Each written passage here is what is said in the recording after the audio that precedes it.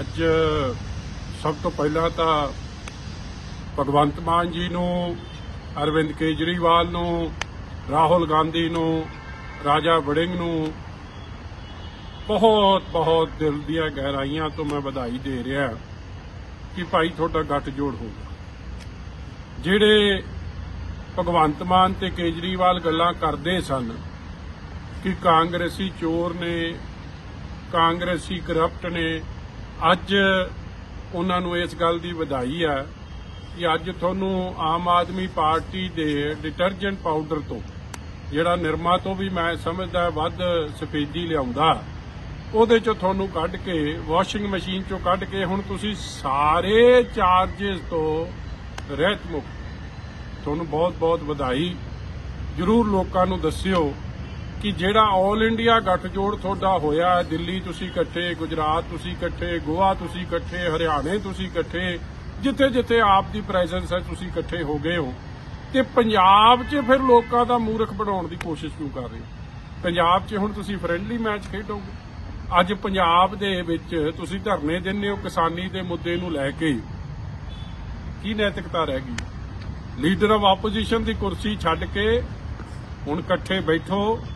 ਲੋਕਾਂ ਨੂੰ ਮੂਰਖ ਬਣਾਉਣ ਦੀ ਕੋਸ਼ਿਸ਼ ਨਾ ਕਰੋ ਪਬਲਿਕ ਸਭ ਜਾਣਦੀ ਹੈ।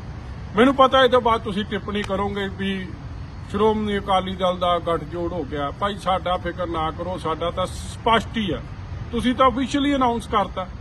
ਔਰ ਅਫੀਸ਼ੀਅਲ ਅਨਾਉਂਸਮੈਂਟ ਦੀ ਬਹੁਤ ਬਹੁਤ ਗਾਂਧੀ ਪਰਿਵਾਰ ਨੂੰ ਪੀਪੀਸੀਸੀ ਪ੍ਰਧਾਨ ਨੂੰ, ਭਗਵੰਤ ਮਾਨ ਨੂੰ ਔਰ ਅਰਵਿੰਦ ਕੇਜਰੀਵਾਲ ਜਿਹੜੇ ਕਹਿੰਦੇ ਸਨ ਕਾਂਗਰਸ ਅਨਟੱਚੇਬਲ ਹੈ। ਕਾਂਗਰਸ ਕਹਿੰਦੀ ਸੀ ਕਿ ਪੰਜਾਬ ਦਾ, ਦੇਸ਼ ਦਾ ਬੇੜਾ ਗਰਗ ਭਗਵੰਤ ਮਾਨ ਤੇ ਕੇਜਰੀਵਾਲ ਨੇ ਕੀਤਾ। ਹੁਣ ਪਤਾ ਨਹੀਂ ਕਿਹੜੇ ਮੂੰਹਾਂ ਨਾਲ, ਕਿਹੜੇ ਮੂੰਹ ਤੋਂ ਸਵਾਲ ਪੁੱਛੋਗੇ ਕਿ ਜਹਾਜ਼ ਕਿਵੇਂ ਵਰਤਦਾ ਸੀ, ਹਜ਼ਾਰ ਕਰੋੜ ਇਸ਼ਤਿਹਾਰ ਤੇ ਕਿਵੇਂ ਲਾਉਂਦਾ ਸੀ। ਕਿਸਾਨੀ ਨੂੰ ਐਮਐਸਪੀ ਨਹੀਂ ਦਿੰਦੇ, ਅਨਮੋਲ ਗਗਨ ਮਾਨ, ਭਗਵੰਤ ਮਾਨ, ਕੇਜਰੀਵਾਲ ਜਿਹੜੇ ਕਹਿੰਦੇ ਮਿੰਟਾਂ, ਸਕਿੰਟਾਂ 'ਚ ਦਵਾਂਗੇ। ਹਰ ਮੁੱਦੇ ਤੇ ਜ਼ਰੂਰ ਸਪਸ਼ਟੀਕਰਨ ਦਿਓ। ਇਹਦੇ ਚ ਕਿਵੇਂ ਚੋਰ ਮੋਰੀ ਤੋਂ ਨਿਕਲੋਗੇ ਕਿ ਸਾਡਾ ਗੱਠਜੋੜ ਸਾਰੇ ਦੇਸ਼ ਤੇ ਤਾਂ ਹੈ, ਪੰਜਾਬ 'ਚ ਨਹੀਂ ਹੈ।